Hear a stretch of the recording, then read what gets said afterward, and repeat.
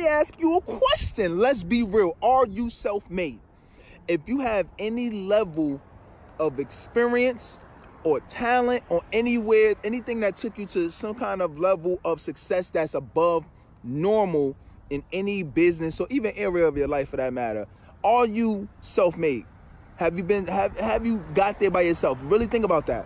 One of the things that I hate, I despise is people who call themselves self-made. It sounds good, it sounds sexy, like I did it, and you know, and, and, and all of this, and you know, and I get it that you know you, you felt like you put in the work yourself, but at the end of the day, you're, you'll you'll never make it to that highest level.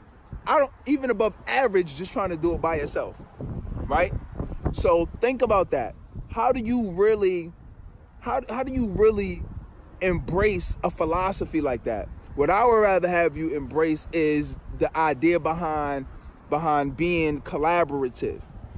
Embrace the idea of yes, you got to work hard. Yes, you gotta you gotta be able to put in the reps. You gotta do the practice. You yes, you do that. But if you really want to be able to spread your influence, right? A lot, a lot, of what I help is coaches and speakers. And I was talking to, uh, I was having talking having this conversation with um, with my group, Productive Business Coaching group the other day, and I was just saying we got to get out. We got to do more collaborations, especially if you're an influencer, because you're not you're only going to make it to some level of of impact in the world by yourself. You're only going to be able to make a certain amount of income by yourself. But once you start tapping into other people who have the same or similar niche as you, and and you collaborating, and I don't care if it's a podcast, I don't care what it is, as long as you are you you, you getting getting in contact and doing things with other people, you'll be able to spread your influence in any area of your life. By that by that matter, you really want to get to that next level. Start doing more collaborations, and don't think that you have to do everything by yourself. I think that's one of the biggest mistakes that a lot of entrepreneurs or business owners make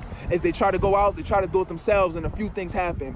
One, they try to do it themselves, so they start feeling lonely. They start feeling like they're the only person that's going through this. Nobody else is having this problem. You know, I don't. You, they, they don't have the perspective that they need to have. They take they they wasting a lot of time and energy and money doing things that they could if they just had a conversation or if they just collabed on something or if they just reached out for help and stop trying to think that everything has to be by themselves or self-made then they will they will make it a lot further, a lot faster. Right. So that's the only thing that I would say is go out, make some things happen. I've made that mistake a, a, a lot in my life, especially early on when just trying to keep doing things by myself. Like, hold up, there's people that we can leverage in order to, to make it to that next level. All right. So, you know, continue to go out, grind, and let's work.